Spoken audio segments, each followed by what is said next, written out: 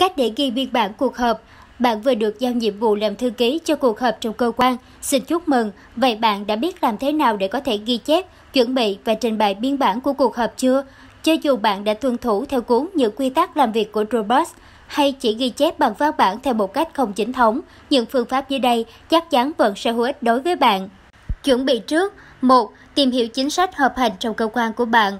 Nếu như được phần công biên bản họp chính thức, bạn hãy hỏi xem cơ quan có tuân theo những quy tắc làm việc của Robert hay một hướng dẫn nào khác không. Còn nếu như không yêu cầu phải ghi chép biên bản theo một cách chính thống, thì hỏi xem biên bản cuộc họp nên gồm những nội dung nào hay được dùng cho những mục đích gì. Trong vai trò của một người ghi chép biên bản, bạn không cần phải làm quen với tất cả những quy tắc làm việc. Tuy nhiên, hãy xin một bản sao hoặc mượn của chủ tọa để giúp cho bạn trả lời được những câu hỏi cụ thể tìm hiểu về vai trò của mình. Một số thư ký biên bản không tham gia cuộc họp trực tiếp, trong khi số khác thì vừa ghi chép biên bản vừa tham gia thảo luận. Tuy nhiên, trong cả hai trường hợp thì thư ký không nên là một người chủ trì hay có vai trò chính trong cuộc họp như chủ tịch hay người tổ chức cuộc họp. 2. Chuẩn bị sẵn mẫu biên bản. Thường thì mỗi biên bản cuộc họp đều có những thông tin khá giống nhau. Mẫu biên bản theo quy cách thống nhất sẽ khiến cho việc ghi chép trở nên dễ dàng. Hãy dành chỗ trống để có thể điền những thông tin dưới đây tên cơ quan, loại hình cuộc họp. Đây có phải là một cuộc họp định kỳ hàng tuần hay hàng năm? Cuộc họp là một nhóm nhỏ hay một cuộc họp được triệu tập ở một mục đích đặc biệt, ngày giờ và địa điểm, để lại chỗ trống để điền thời gian bắt đầu và kết thúc tên của chủ tọa hoặc lãnh đạo cuộc họp và tên của thư ký hoặc người thay mặt, danh sách thành phần có mặt và thành phần vắng mặt. Đây là một nội dung cần thiết trong bản danh sách cần phải tham dự. Hãy ghi chú xem cuộc họp có đủ số đại biểu quy định, số người tham dự tối thiểu để có thể thực hiện bỏ phiếu, chỗ trống để cho bạn có thể ký tên. Là thư ký ghi chép biên bản, bạn luôn phải ký tên vào biên bản do mình lập. Ngoài ra, tùy theo những quy định của từng cơ quan, bạn có thể sẽ phải ký tên lên biên bản được duyệt lịch trình làm việc cho cuộc họp. Nếu có, nếu như chủ tịch hay một người điều phối cuộc họp không yêu cầu bạn soạn lịch trình, thì bạn cần nên đề nghị có một bản cho mình. Việc tham khảo trước những chương trình làm việc sẽ giúp cho bạn ghi chú được nội dung của cuộc họp dễ dàng hơn. 3. Mang theo sổ ghi chép hoặc máy tính sách tay. Hãy mang theo vật dụng mà bạn quen sử dụng nhất. Nếu như bạn thường xuyên phải ghi chép biên bản họp, hãy dành riêng một cuốn sổ để có thể ghi chép phục vụ cho mục đích này, hoặc lập ra một thư mục riêng cho máy tính của bạn. Nếu như bạn ghi biên bản trong cuộc họp lần trước và chưa được phê duyệt, hãy nhớ mang theo biên bản này theo. Máy ghi âm có thể giúp cho bạn ghi lại nội dung biên bản, nhưng không thể thay thế được biên bản cuộc họp. Nếu như bạn ghi âm lại cuộc họp, hãy đảm bảo sự chấp thuận của những người có mặt và tránh việc chép lại bản thu âm một cách đơn thuần. Học kỹ thuật tốc ký để có thể tăng tốc độ ghi chép của bạn, nhưng bạn cũng không cần và cũng không nên ghi lại từng tận trong biên bản. Nếu như được yêu cầu để ghi chép công khai trong cuộc họp, bạn hãy sử dụng một máy chiếu H hoặc là giá vẽ chữ A. Cần đảm bảo rằng sau đó bạn có thể mang những ghi chú về nhà mà không bị nhòe để có thể đánh lại biên bản. Ghi chép biên bản cuộc họp 1. Phát tờ danh sách thành phần tham dự. Ngay khi tất cả mọi người có mặt, hãy phát một tờ hoặc nhiều hơn đối với những cuộc họp lớn. Dành chỗ trống để mọi người có thể ghi tên và thông tin liên lạc. Bạn cũng có thể làm việc này trước khi buổi họp kết thúc để có được thông tin đầy đủ cho một thành phần tham dự.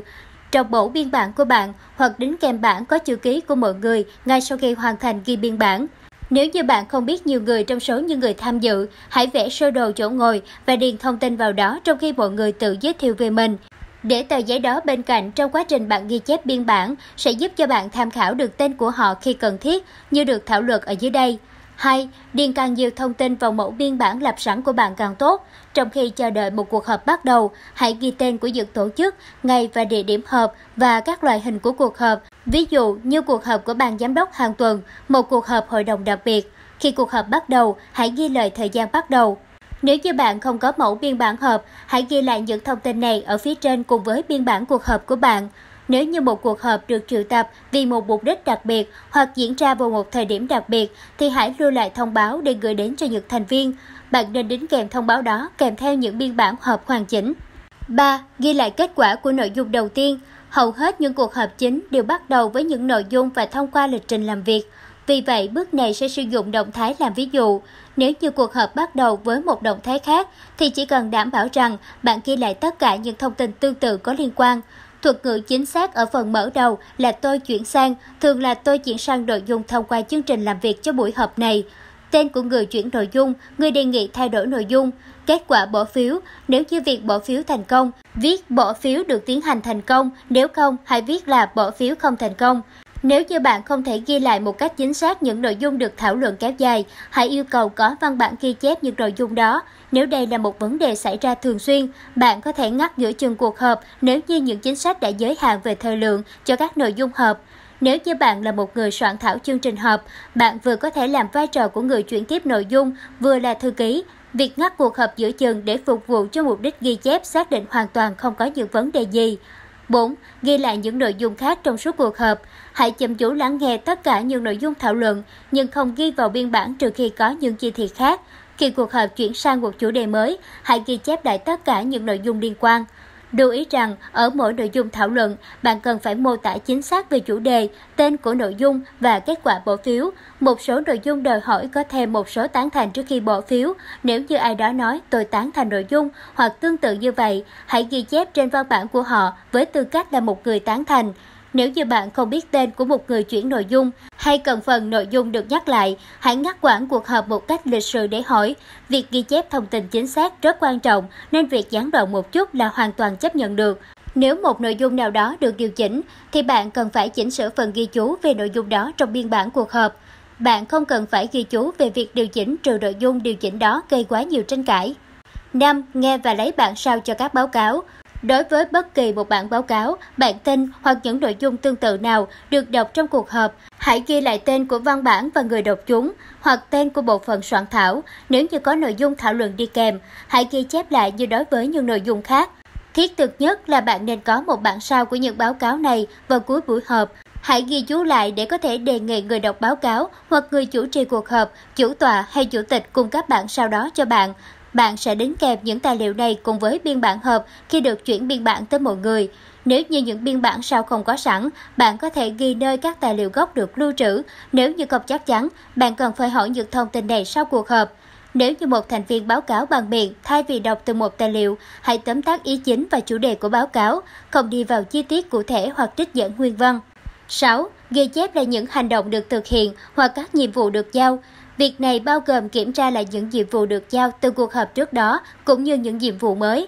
Có ai đó được phân công viết một bức thư, hãy ghi lại tên của họ cùng với những chi thị kèm theo. Tùy thuộc vào mức độ chính thức của cuộc họp, có rất nhiều trong số những hành động này có thể bị bỏ qua dưới danh nghĩa nội dung mới. Với những cuộc họp không chính thức, bạn sẽ cần phải nghe thật tập trung với những quyết định thiếu rõ ràng.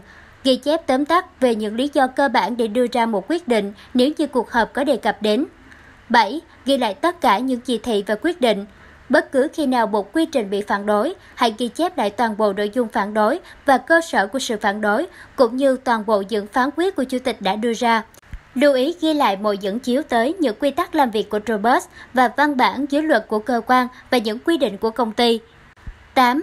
Chỉ tổng hợp lại những thảo luận khi được yêu cầu, Thông thường thì biên bản họp ghi lại những gì được làm chứ không phải là những gì được nói. Tuy nhiên, bạn cần phải tuân theo những yêu cầu cụ thể của tổ chức. Khi ghi lại những nội dung thảo luận, cố gắng giữ tinh thần khách quan nhất có thể. Hãy sử dụng từ ngữ xúc tích, không mang tính cá nhân. Hạn chế tối đa việc sử dụng những tính từ và trạng từ. Mục đích biên bản của bạn là khô khan, thực tế và nhàm chán không ghi tên của bất cứ ai trong phần tóm tắt nội dung thảo luận. Điều này đặc biệt quan trọng đối với những cuộc họp tranh cãi nảy lửa có thể xảy ra xung đột. 9. Tổng kết vào cuối cuộc họp. Hãy ghi lại thời gian cuộc họp kết thúc và nhớ thu thập bản sao của những báo cáo hay nhắc ai đó gửi cho bạn. Đọc lại biên bản để xem bạn có bị sót hay cần làm rõ một nội dung nào không. Nếu như bạn cần phải hỏi ai đó, hãy làm trước khi họ ra về. Hoàn tất biên bản. 1. Bắt đầu việc này càng sớm càng tốt. Tốt nhất là bạn hãy ghi lại biên bản chính thức ngay sau cuộc họp khi sự kiện còn mới mẻ trong tâm trí của bạn. 2. Đánh máy biên bản cuộc họp. Bạn đã có thể làm điều này nếu như sử dụng một máy tính sách tay tại cuộc họp. Hãy lưu lại những ghi chú của bạn và mở một văn bản mới để có thể ghi lại biên bản. Theo cách này, bạn có thể so sánh ghi chú và biên bản với nhau. 3. Hiệu chỉnh văn bản ghi chú theo từng đoạn mạch lạc. Mỗi chủ đề, quyết định hoặc thủ tục được trình bày trong những đoạn văn bản riêng biệt. Khi hiệu chỉnh định dạng, hãy kiểm tra xem văn bản đó có đúng chính tả và ngữ pháp. Nếu như cần thiết, hãy sử dụng công cụ kiểm tra chính tả. sử dụng một thì thống nhất xuyên suốt văn bản hoặc là sử dụng một trong hai thì quá khứ hay hiện tại, hạn chế chuyển đổi giữa các thì trong cùng một văn bản, phải giữ một tinh thần khách quan nhất có thể, không bao giờ nên sang ý kiến cá nhân của bạn vào biên bản. Bạn phải cố gắng tạo ra một biên bản ghi chép khách quan nhất cho mọi người sử dụng. Sử dụng ngôn từ đơn giản, chính xác. Mọi từ ngữ có ý nghĩa mơ hồ đều cần phải được thay thế bằng những từ ngữ chính xác. Những từ mô tả hoa mỹ cần phải được loại bỏ hoàn toàn. Chỉ nên ghi chép lại những hành động được thực hiện chứ không phải là nội dung thảo luận, trừ khi bạn được yêu cầu ghi chép lại những nội dung thảo luận. Nếu như không, bạn chỉ nên tập trung vào những gì được làm chứ không phải là những gì được nói, để số trang để có thể dễ dàng tham khảo. 4. Phát cho mỗi thành viên cuộc họp một bản dự thảo biên bản họp của bạn. Sử dụng những thông tin trong bản ký tên thành viên tham dự để gửi cho mỗi thành viên tham dự một bản sau biên bản cuộc họp. Nếu như bạn không có thông tin liên lạc của họ, hãy nhờ sự giúp đỡ của những chủ tọa cuộc họp. 5. Xin phê duyệt cho biên bản họp. Bạn có thể được yêu cầu đọc to biên bản của cuộc họp trong cuộc họp kế tiếp để văn bản có thể được thông qua. Nếu như biên bản được phê duyệt, hãy đánh dấu rằng biên bản đã được chấp thuận. Nếu như biên bản được hiệu chỉnh trước khi phê duyệt, hãy hiệu chỉnh trong văn bản và ghi rõ ở cuối biên bản rằng biên bản đã được hiệu chỉnh, không cần nói cụ thể các điều hiệu chỉnh. Nếu như phải thực hiện hiệu chỉnh một chủ đề sau khi biên bản đã được chấp thuận, bạn nên bổ sung những từ ngữ mô tả chính xác hành động đó trong những biên bản liên quan và nói chủ đề có được thông qua hay không. Sử dụng mẫu biên bản cuộc họp 1. Tham khảo những trang web cung cấp mẫu ghi chép biên bản họp.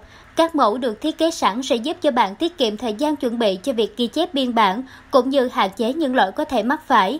2. Dành thời gian duyệt từng trang web. Sử dụng tính năng tìm kiếm và lướt qua sự lựa chọn để có thể tìm kiếm những mẫu biên bản phù hợp nhất với bạn. Nếu như bạn cần có một loại mẫu biên bản cụ thể, một mẫu chung hoặc mẫu chuẩn, hãy đưa theo những tiêu chí cụ thể của bạn để có thể tìm kiếm trên trang web và tải về bằng cách nhấn nút tải về hoặc nút sử dụng mẫu. Hãy nhớ lưu vào một nơi dễ tìm để không bị thất lạc. 3. Mở tạp tin. Sau khi tải mẫu biên bản về, hãy giải nén và mở định dạng Word hoặc Excel. Để có được một văn bản có chất lượng tốt nhất và thuận tiện khi sử dụng, bạn nên sử dụng biên bản MS Word mới nhất. Việc liên tục cập nhật sẽ giúp cho mọi thứ trở nên đơn giản hơn đồng thời sẽ cho phép bạn sử dụng những tính năng mới một cách tối ưu. 4. Chèn logo công ty của bạn và những dấu bản quyền trong phần tiêu đề bên trên. Xóa logo mẫu, bạn cần lưu ý đọc những điều khoản sử dụng của những bất kỳ trang web nào để có thể tải mẫu biên bản nào. Bạn hoàn toàn có thể tránh vướng phải những rắc rối pháp lý không cần thiết. 5. Thay đổi tiêu đề. Trong phần tiêu đề, đánh dấu những từ cuộc họp, nhóm và gõ tiêu đề thực tế trong biên bản cuộc họp của bạn. 6. Thay đổi nền không bắt buộc. Để làm cho biên bản mẫu của bạn trông đẹp và chuyên nghiệp hơn, hãy cân nhắc việc thay đổi màu sắc hoặc chọn một màu có sẵn, hoàn toàn đơn giản. Hãy tìm thanh Page Layout định dạng trang, sau đó hãy tìm đến mục Color and màu sắc và chủ đề. Ở đó, bạn có thể tùy chỉnh những hiệu ứng đối với những mẫu biên bản của mình. Bạn thậm chí có thể tùy chỉnh màu nền tương thích với màu logo công ty của bạn. 7. Đặt tên cho những phần biên bản mẫu. Nên có một số tên trường theo mẫu. Những mẫu bạn tải về thường được đặt tên sẵn, có thể bạn sẽ cần thêm hay lược bớt hoặc đơn giản là bạn không thích chúng được đặt tên, bạn có thể tùy chỉnh cho phù hợp với yêu cầu của cuộc họp. 8. Lưu những mẫu biên bản này vào máy tính sách tay của bạn để có thể bắt đầu ghi chép biên bản. Nếu như bạn sử dụng phần mềm Microsoft Office thì mọi thứ sẽ khá nhanh chóng và dễ dàng. Bạn sẽ có thể ghi chép biên bản của những cuộc họp một cách khoa học và chính xác hơn. Ngoài ra, bạn có thể in sẵn những mẫu biên bản để có thể ghi chú bằng tay nhưng đảm bảo rằng bạn có thể để một khoảng trống phù hợp để có thể điền hết những thông tin cần thiết.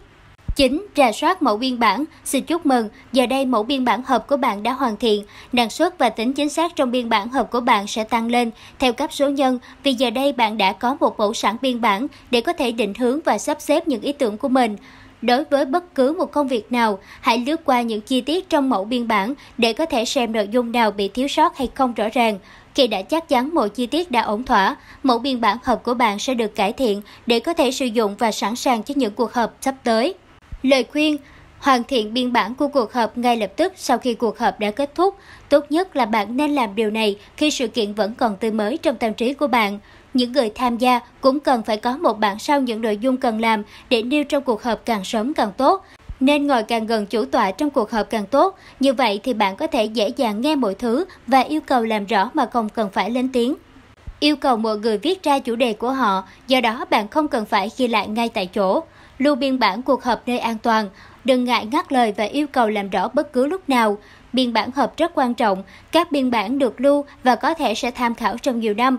Ví dụ, nếu đó là một vấn đề pháp lý, danh tiếng của một người có thể phụ thuộc vào biên bản đó.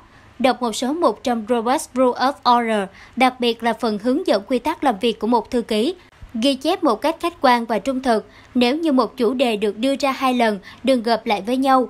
Cảnh báo đừng đưa ra quá nhiều chi tiết vào biên bản, thậm chí nếu như bạn được yêu cầu ghi lại nội dung của cuộc thảo luận thì cũng cố gắng chỉ tóm tắt và các ý chính. Hạn chế bản thân phải ghi lại những diễn biến xoay quanh ý chính, nếu không bạn sẽ bị quá tải hoặc sa đà vào những chi tiết không cần thiết. Tuyệt đối không xen vào những diễn giải và cảm xúc cá nhân của bạn trong biên bản. Nếu như một phần của cuộc họp đặc quyền luật sư hoặc khách hàng không được ghi chép phần đó, thay vào đó là ghi bằng luật sư thông báo rằng nội dung thuộc về quyền luật sư và khách hàng, nội dung đó đã không được phép ghi. Nếu như bạn được yêu cầu ghi lại một nội dung trao đổi bí mật, ví dụ như giữa một luật sư và một khách hàng, hãy lập một biên bản tách rời và lưu trữ riêng biệt với biên bản cuộc họp chung, đánh dấu là tài liệu mật và ghi rõ ai có quyền truy cập vào tài liệu đó.